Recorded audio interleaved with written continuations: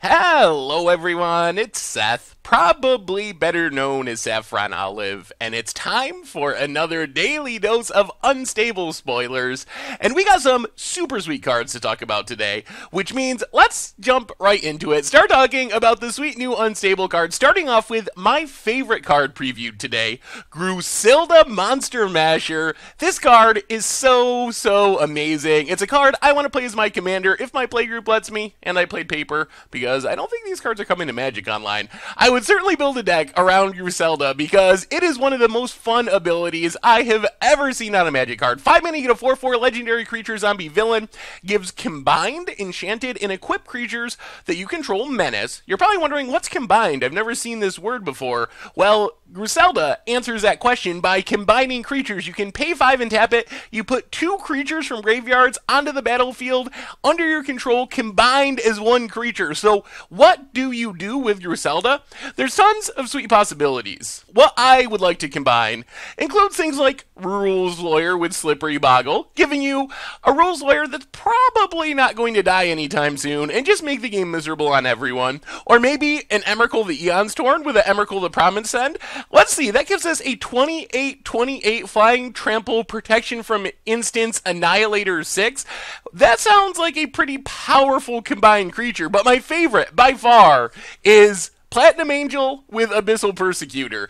I have no idea what happens. You got a 10-10 flyer, makes it so you can't lose the game, your opponents can't win the game, but it also makes it so you can't win the game and your opponents can't lose the game. I assume if you can get like a Swiftfoot Boots and maybe something to give it indestructible on this combined Platinum Angel Abyssal Persecutor, you just play the game forever. There's no end. There's no end in sight. You just play for infinity until people start dying of old age, but it seems so fun. So I can't wait to play some Grusilda. It is one of my favorite cards from the set. Such a cool ability, and I think it is a great inclusion in Unstable.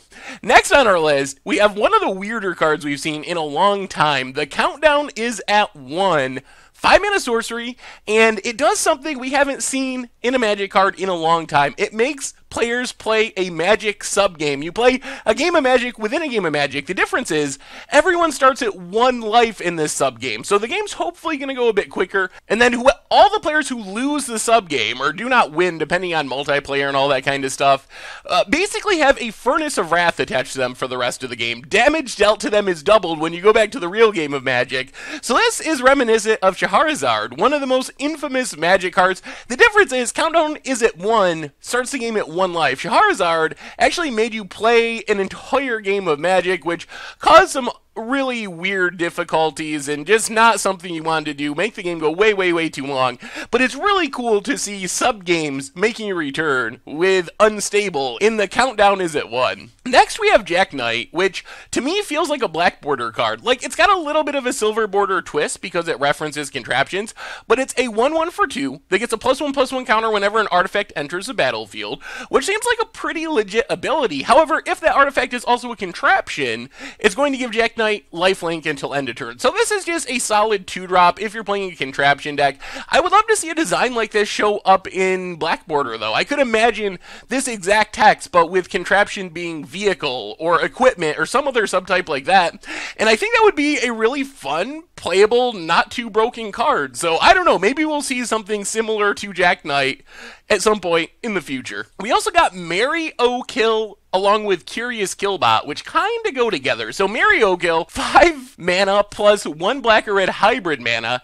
You get a 5-5 legendary creature, and it has the ability to switch a Killbot or Mary O'Kill in your hand with one on the battlefield. So what this means is actually kind of tricky. And that's where Curious Killbot comes in because it is a Killbot. It's just a 2 1. So so let's say you got Mary O'Kill on the battlefield. You block with your Mary O'Kill. You can switch in your Curious Killbot instead so your Mary O'Kill doesn't die. The interesting part of this is the switching basically copies everything. If the creature is tapped or attacking or blocking, enchanted, equipped, targeted, all that stuff remains when the switch takes place, so you get to keep all your enchantments, uh, all your equipment, all that stuff stays on it. So another really cool build around. Legendary, of course, makes it possible for commanders. So another really sweet sweet legendary from Unstable. Slaying Mantis is super sweet. It is an only an uncommon, but it has a really cool ability. So it has an ability called Just a Second, which I believe is like Split Second. It's a little bit weird the way it's worded. It says, as long as this spell is on the stack, players can't move cards on the battlefield. Not 100% sure if that means they cannot tap their cards. I took it to mean you could not tap your cards. Kind of like Split Second, but super Split Second. But when enters the battlefield, you actually throw it from at least three feet, and when it enters the battlefield, it fights each creature an opponent controls that it touches as it entered. So this goes back to one of the most famous old card, Chaos Orb, where you would flip it onto the battlefield from a height of at least a foot, blows up the stuff that it touches.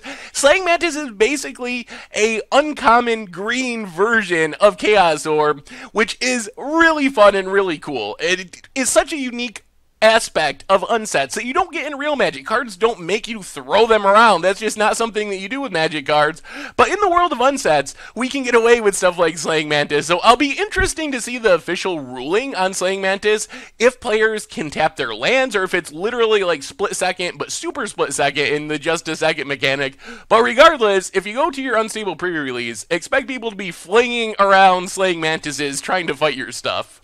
We also got Party Crasher, which is a super weird card. 5 mana 3 3 with haste. Alright, not that bad. Goblin Berserker. The big deal here is Party Crasher can attack during opponent's combats once each turn. So if you're playing a four-player commander game, not only does Party Crasher come down with haste and attack on your turn, go to your opponent turn, you get to attack an opponent. Go to your next opponent's turn, you get to attack an opponent.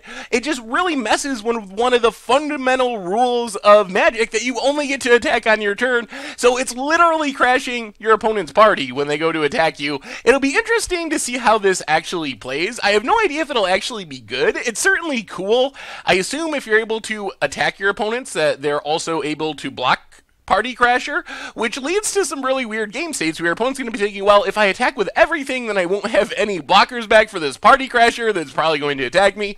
So uh, the timing issue and the actual rules of Party Crasher are a little bit confusing, but a super sweet design. We also got Selfie Preservation, which is basically the rampant growth of the set, but with a twist. It's only a rampant growth if you search for a basic land with a tree in the art. If you search for a basic land with a tree in the art, you get to put it directly on the battlefield. Otherwise, it just goes to your hand, kind of like in Attune with Aether, a lay of the land.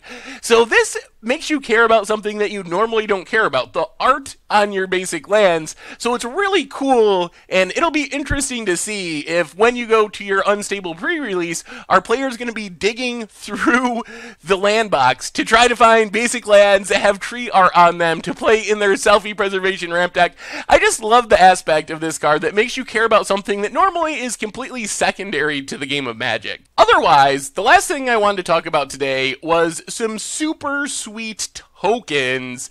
We got the full art tokens that'll be coming in the set. So in Unstable, we got two different kinds of tokens. We have tokens that are actually attached to cards in the set, like we saw yesterday in Crow Storm, in the Crow Storm token. There's also just a bunch of generic tokens, and these tokens start off looking like real tokens, but if you flip them around, you get full art tokens all the way to the border, no text, no power and toughness. These cards are super spicy, and I expect that they will rank alongside the borderless basic lands from Unstable as some of the most in demand cards from the set. Not just because they look so cool, but Wizards did a really good job of nailing popular creature types. You got angels, you got beasts, you got the elemental tokens from Voice of Resurgence, from Young Pyromancer, Zombies, Saproling, Thopters, Spirits. These are some of the most played types as far as tokens tokens go, which means lots of people are going to want these because they look super amazing and just great job, Wizards, nailing it with the tokens. They're also going to be in foil. You can't really see that in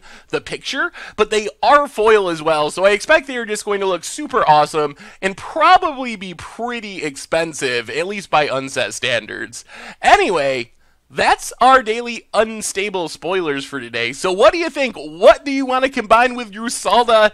How will you play the countdown is at 1? Are you excited to fling some slaying mantises or crash your opponent's party? How about the tokens? Will you go out and buy these tokens to upgrade your tokens in your decks? Will you have these sitting around? They look amazing to me, but I want to know what you think. So anyway, that's all for our daily unstable spoilers for today. Again, let me know in the comments what you think about this super sweet set. Thank you very much for watching. I hope you enjoyed the video, and I will talk to you soon. Thanks for watching the video. If you enjoyed it, help us out by clicking that like button down below. And to keep up on all the latest and greatest, click that subscribe button. And don't forget to hit that bell icon to get alerts whenever we have new videos. And if you want to, check out some of our other sweet videos here and here.